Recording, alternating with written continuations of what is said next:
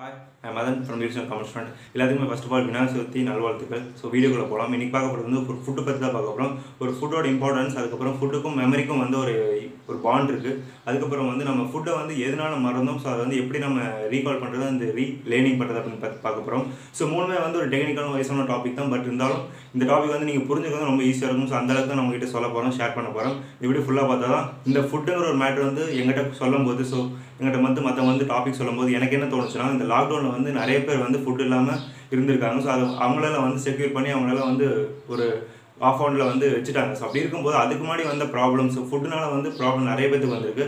அதனால தான் இந்த டாபிக் நான் பேசுகிறேன் ஸோ நான் இந்த டாபிக் பேசுகிற காரணம் வந்து டாபிக் வந்து சொன்னாங்க. பட் இருந்தாலும் நான் வந்து இந்த டாபிக் வந்து ரொம்ப சீரியஸாக கொண்டு போகிறேன் எபிசோட் எபிசோடாக கொண்டு போகிறது வந்து இந்த ரீசனால தான் ஸோ வீடியோக்குள்ளே போகலாம் ஃபர்ஸ்ட் ஆஃப் ஆல் என் சேனல் ஃபர்ஸ்ட் ஆஃப் ஆல் என்னோட சேனல் ஃபஸ்ட் டைம் வந்து சப்ஸ்கிரைப் பண்ண ப்ரெஸ் பண்ணுங்கள் அப்புறம் பெல்லைக்கு வந்து டேப் பண்ணுங்கள் அப்போ தான் நான் போட நோட்டிஸ் வந்துட்டே இருக்கும். ஸோ வீடியோக்குள்ள ஃபஸ்ட் ஒன் ஸோ நம்ம மெமரிக்கும் ஃபுட்டுக்கும் வந்து ஒரு ரிலேஷன்ஷிப் பாண்ட் இருக்குன்னு சொன்னால அது என்னன்னா ஸோ அது எல்லாத்துக்குமே யாருக்குமே தெரியாத ஒரு விஷயம் தான் பட் இருந்தாலும் தெரிஞ்சக்கூடிய ஒரு விஷயம் தான் எல்லாத்துக்குமே தெரியும் அது எப்படின்னு. பட் நம்மளோட பிரெயினுக்கு தகுந்த மாதிரி அது தெரியாதுன்னு சொல்ல முடியும். ஏன்னா இப்போ வந்து நம்ம ஃபுட் பண்ணும்போது ஒரு சில வெஜிடபிள் வந்து நம்ம மறந்துருப்போம். ஸோ மறக்கக்கூடிய விஷயம் வந்து மறந்துருப்போம். அப்படி இருக்கும்போது இதை வந்து ஞாபகப்படுத்தி நம்ம போடக்கூடிய விஷயம் அதெல்லாம் வந்து வேறு டிபார்ட்மெண்ட் வரும். நான் சொல்லக்கூடிய விஷயம் வந்து ஒரு டெக்னிக்கலான வயசுன்னு சொன்னேன் அப்படி இருக்கும்போது நம்ம சாப்பிடக்கூடிய விஷயம் வந்து ஓ நம்ம இன்றைக்கி தோசை சாப்பிட்டோம் அப்படின்னா நம்ம ஆஃப்டர்நூன் வந்து நம்ம ஃப்ரெண்டு கேட்போம் மார்னிங் என்ன சாப்பிடுன்னு சொல்லிட்டு. ஸோ நம்ம வந்து மெமரிபிள் பண்ணி நம்ம தோசைன்னு சொல்லுவோம். ஸோ அந்த ரிலேஷன் பாண்டு தான் மெமரிக்கும் சாப்பாடுக்கும் ஒரு ரிலேஷன்ஷிப் பாண்டு இருக்குது நான் இந்த டாப்பிக்கில் இந்த ஒரு செக்மெண்ட்டில் சொல்கிறேன் அப்படி இருக்கும்போது இது வந்து மார்னிங் மார்னிங் கேட்டால் தான் தெரியுமா அப்படின்னு கேட்டால் இல்லை நம்ம நம்ம ஃப்ரெண்ட்ஸோட மேரேஜாக இருக்கட்டும் நம்ம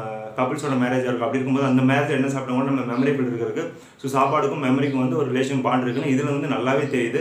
ஸோ ஷூரிட்டியாக வந்து இதில் வந்து ஒரு ஒரு பெரிய டெக்னாலஜியும் கிடையாது பட் இருந்தாலும் இது வந்து நம்ம டெக்னிக் டெக்னிக்கலாக வைஸாக யோசிச்சு பார்த்தா தான் இப்போ வந்து நான் ஒரு விஷயம் சொல்கிறேன் ஸோ கொரோனா வைரஸ் மூலியமாக சில பேர் வந்து அஃபெக்ட் ஆனாங்க. அப்படி இருக்கும்போது கொரோனா வைரஸ் அப்போ சாப்பிட்ட உணவு என்னென்னு சைனா கிட்ட கேட்டால் அவங்க சொல்லுவாங்க நான்வெஜ்னு சொல்லிட்டு. ஸோ கொரோனா வைரஸ் அந்த கண்ட்ரியில் கொரோனா வைரஸ் ஸ்டாப் ஆகி ரெண்டு மாதம் ஆச்சு. அப்படி இருக்கும்போது அந்த ஃபுட்டை வந்து அவங்க எப்படி ஞாபகம் வச்சிருக்காங்க? ஸோ இந்த கவர்மெண்ட்டே வந்து அவங்க சொல்கிறாங்க நம்ம நான்வெஜ்ஜாக நாங்கள் சாப்பிட்டோம்னு சொல்லிட்டு. ஸோ நேற்று வீடியோ வந்து தம்பி வீடியோவில் சொல்லியிருப்போம் அவங்க வந்து சிக்கன் மட்டன் வந்து செக்யூர் பண்ணாமல் வச்சனால கொரோனா வைரஸ் ஸ்ப்ரெட் ஆகுதுன்னு சொல்லி. அப்படி இருக்கும்போது அந்த மெமரபிள் திங்க் தான் வந்து இந்த செக்மெண்ட்டில் நீங்கள் லிங்க் பண்ணி பார்த்தா தான் இந்த டாபிக் உங்களுக்கு புரியும். ஸோ அடுத்த டாபிக் வந்து நம்ம வந்து ஃபுட்டை வந்து எப்படி இம்பார்ட்டன்ட் பண்ணுறோம் ஸோ நம்ம வந்து நம்ம ஃபுட்டு வந்து நியூட்ரியன்ஸாக டிவைட் ஆகுதா? இல்லை ஃபுட்டாகவே வந்து கன்வெர்ட் ஆகி நமக்கு வந்து ஒரு எனர்ஜிபிள் எனர்ஜிபிள் ஒரு டே வந்து கொடுக்குது அப்படின்னு பார்த்தா அதுதான் கிடையாது. ஏன்னா ஃபுட்டு சாப்பிடும்போது அதோட நியூட்ரியன்ஸ் எல்லாமே செக்மெண்ட்டாக பிரிஞ்சிடும் ஸோ த்ரீ செக்மெண்ட்டாக பிரிஞ்சிடும் ஏன்னா நம்ம எனர்ஜிக்கு ஒரு செக்மெண்ட் அப்புறம் நம்ம ஸ்லீப்புக்கு ஒரு செக்மெண்ட் அப்புறம் நம்ம பேசக்கூடிய விஷயத்துக்கு ஒரு செக்மெண்ட் நம்ம ஸ்லீப்புக்கு ஒரு செக்மெண்ட் இருக்குது அது வேணால் நல்லா நோட் பண்ணி பார்த்துங்க.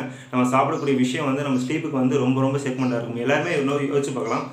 எல்லாம் சாப்பிட்டு மதியானம் வந்து நல்லா தூங்குவாங்க. அப்படி இருக்கும்போது அந்த ஒரு செக்மெண்ட்டுக்கு பேர் தான் நியூட்ரிஷன் செக்மெண்ட் ஸ்லீப் மோட் அப்படின்னு சொல்லுவாங்க. அப்படி இருக்கும்போது நம்ம ஃபுட்டு வந்து ஒரு ஸ்லீப்புக்கு எனர்ஜிபிளாக இருக்குது அப்படின்னு சொல்லும்போது ரொம்பவே இன்ட்ரெஸ்டிங்கான ஃபேக்டாக இருக்குது ரொம்ப க்யூஷனான டாப்பிக்காக இருக்குது நான் பார்க்கும்போது எனக்கு வந்து ரொம்ப ரொம்ப டிஃப்ரெண்ட்டான டாபிக் வந்து இது நான் தோன் தோன்றேன். அதுக்கப்புறம் வந்து இதுதான் வந்து ரொம்ப முக்கியமான விஷயம். நம்ம சாப்பிட ஹேபிட்டை வந்து மிஸ் பண்ணியிருப்போம் மறந்துருப்போம். அப்படி இருக்கும்போது அதை வந்து எப்படி நம்ம ரீகால் பண்ணுறது எப்படி நம்ம வந்து ரீ ரீ லேர்னிங் பண்ணுறது அப்படின்னு பார்க்கலாம். அப்படி ஒரு விஷயம் கிடையாது. நம்ம வந்து ஒரு டைம் ஆக்சிடென்ட் ஆகி போய் நம்ம ஹாஸ்பிட்டல் அட்மிட் ஆகிட்டு அவங்க சொல்லக்கூடிய விஷயம் நம்ம சாப்பிட்டாவே நம்ம வந்து சீரியஸாகவே வந்து ஒரு ரீலைனிங் வருவோம். ஸோ சாப்பாடை பற்றி நம்ம நல்லா சாப்பிட தெரிஞ்சுப்போம். எப்படின்னா மார்னிங் வந்து இட்லி சாப்பிட சொல்லுவாங்க. ஸோ ஆஃப்டர்நூன் வந்து நல்ல ஒரு சாம்பார் சாதம் சாப்பிட சொல்லுவாங்க. நைட்டு வந்து ஒரு அன்நைட்டு போலான ஒரு ஃபுட்டை வந்து சாப்பிட சொல்லுவாங்க. லைக் சப்பாத்தியாக இருக்கட்டும் புரோட்டாவாக இருக்கட்டும் அப்படி சாப்பிட சொல்லுவாங்க.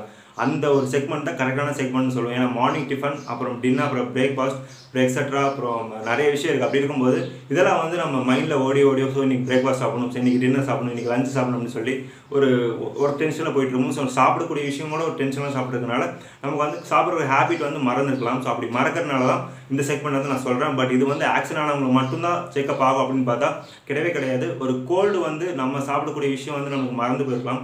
நம்ம கோல்டுனால அம்மா கேட்போம். ஸோ நமக்கு வந்து ஒரு ஸ்பைசியான ஒரு சாப்பாடு அப்படின்னு கேட்போம். அதுக்கு தகுந்த மாதிரி தான் நம்ம பிரெயின் வந்து சொல்லும். ஸோ அதனால தான் வந்து நம்ம டேஸ்ட் வந்து ரீகால் பண்ணுறதும் ரீவைண்ட் பண்ணுறதும் ஃபுட்டு தான் வந்து பண்ணுது. ஃபுட்டு வந்து எதனால் பண்ணுதுன்னா நமக்கு ஒரு அஃபெக்ட் ஆகும்போது ஸோ ஃபீவராக இருக்கட்டும் ஒரு கொரோனா வைரஸாக இருக்கட்டும் அப்படி அஃபெக்ட் ஆகும்போது தான் நமக்கு வந்து food learning and real learning வந்து நமக்கு கிரியேட் ஆகுது அப்படின்னு கூட சொல்லி இந்த வீடியோ முடிச்சிடறேன். ஸோ மூணு டாபிக் நான் சொன்னேன். இம்பார்ட்டன்ஸ் நியூட்ரிஷன் எப்படி டிவைட் ஆகுது நம்ம ஸ்லீப்பிங் மோடுக்கு தகுந்த மாதிரி ஸோ ஃபஸ்ட் பாயிண்ட் என்ன சொன்னோம்னா நம்ம ஃபுட்டுக்கும் மெமரிக்கும் வந்து ரிலேஷன்ஷிப் இருக்குது அது நம்ம சாப்பிட்ட டேவாக இருக்கட்டும் சாப்பிட்ட டே அந்த ஸ்பெஷல் டேவாக இருக்கட்டும் அதை வந்து ரீகால் பண்ணி நம்ம சொல்கிறதுக்கு வந்து ஃபஸ்ட் டாபிக் வந்து ரொம்ப யூஸ்ஃபுல்லாக இருக்கும். நம்ம வந்து அன்னோன் ஃபேக்டாக மாதிரி நம்ம எடுத்துக்கலாம். செகண்ட் வந்து நம்ம ஃபுட்டை வந்து எப்படி நம்ம செக்மெண்ட்டாக பிரிக்கிறது அப்படின்னு பார்க்கும்போது ஸ்லீப்பிங் மோட் வந்து ரொம்ப ரொம்ப இம்பார்ட்டண்ட்டாக இருக்குது ஏன்னா மதியானம் சாப்பிட்டு தூங்குவாங்க. அதுக்கு அதுக்கு பேர் வந்து ஒரு எனர்ஜெட்டிக்கான மோடும் கூட சொல்லலாம். ஏன்னா தூங்கி எந்திரிச்சவங்க வந்து ஃபாஸ்ட்டாக ஒர்க் பண்ணுவாங்க. ஒர்க் ஃப்ரம் ஹோம் இருக்கவங்க நிறையவே தெரியும் அப்படின்னு நினைக்கிறேன்.